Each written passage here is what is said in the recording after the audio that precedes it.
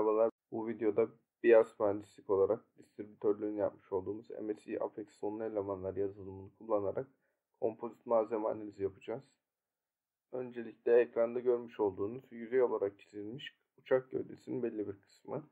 Bu modele belli bir çekme deney testlerinden elde edilmiş malzeme girdilerini kullanarak kompozit malzeme serimi yapacağız. Daha sonra failure teoremlerini kullanarak yapının belli yük ve sınır koşulları altında fail edip etmediğini göreceğiz. Öncelikle Apex'te Attribution Tools kısmının altındaki panel seçeneğine tıklıyorum. Panel seçeneğini tıkladıktan sonra kompozit malzemenin serimlerini yapacağımız yüzeyi seçip onaylıyorum. Ekranda görmüş olduğunuz gibi bir adet koordinat sistemi ve kalınlığın hangi yönde tanımlanacağını gösteren bir ok işareti çıkıyor. Öncelikle burada gördüğümüz koordinat ekseni kompozit malzemenin seriminin yapılacağı yönleri göstermektedir. Kırmızı ile gösterilen 1 x yönünü, yeşil ile gösterilen 2 y yönünü temsil etmektedir. Buradaki kalınlık girdilerinin hangi yönde olacağını gösteren ok işaretini İstersek Build Direction kısmıyla değiştirebiliyoruz. Öncelikle gördüğünüz gibi kalınlık vergisi modelin dış yüzeyinden iç yüzeyine doğru girdi olarak verilecek.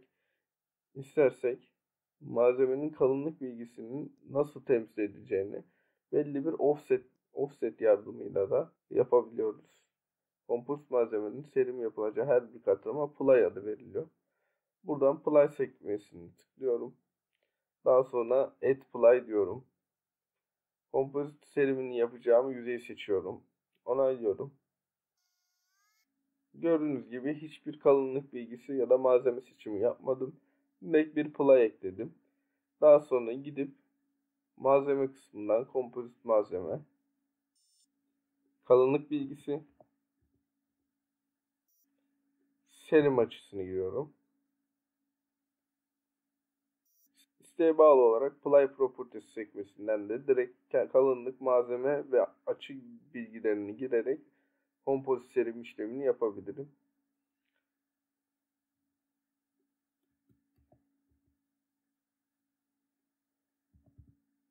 ...45 derecelik 0.3 milime sahip bir serim işlemi gerçekleştiren şu anda Apply diyorum. Bunu yaptıktan sonra hızlı bir şekilde 5 adet daha serim işlemi gerçekleştireceğim.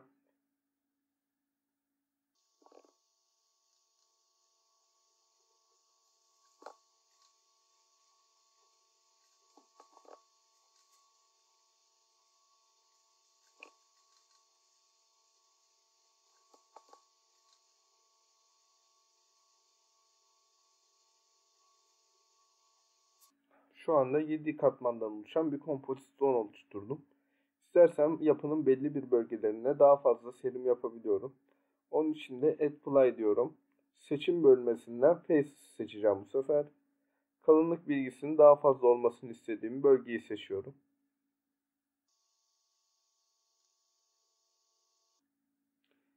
Gördüğünüz gibi fazladan bir katman ekledim. İki katman daha ekleyeceğim.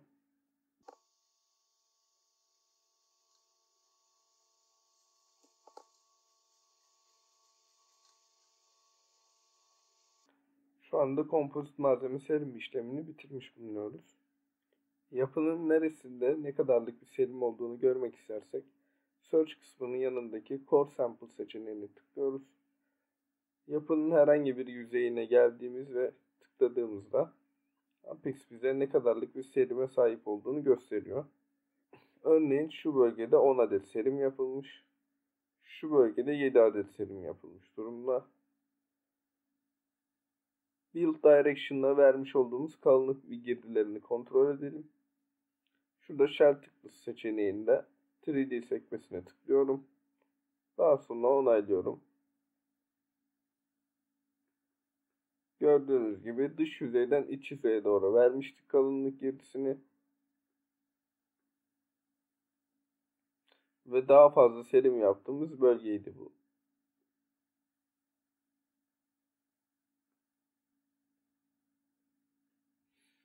Anda kompozit malzeme tanımlama işlemini gerçekleştirmiş bulunuyoruz. Bu modelimizi sonlu elemanlar ağ oluşturacağım.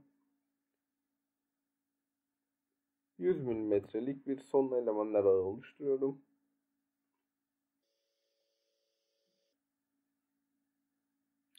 Daha sonra sınır koşulu belirliyorum.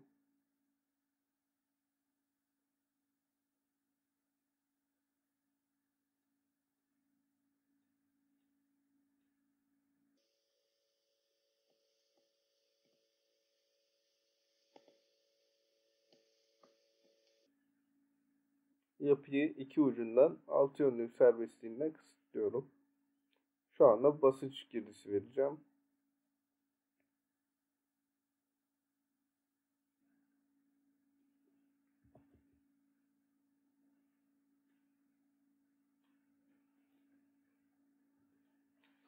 Basınç girdisini girdikten sonra şu anda yapımız analize hazır durumda. Bileysini analizsin diyorum ve analizimizi koşturuyoruz.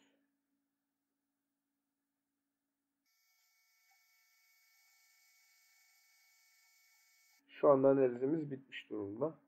Post Process sekmesine tıklıyorum.